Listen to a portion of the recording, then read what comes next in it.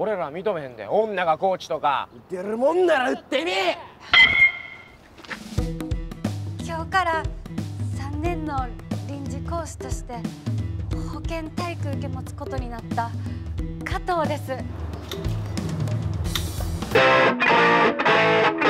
この学校にはなブラッか在日か沖縄しかないんや。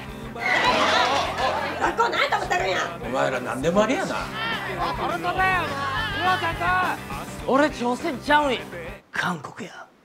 在日とかそんなんどうでもいいし。父ちゃんと一緒にいたかった。普通がええねんて。その普通ができへんしんどい家庭の子が多いんや。先行にようないんや。ガキども連れてこんかい。亮太。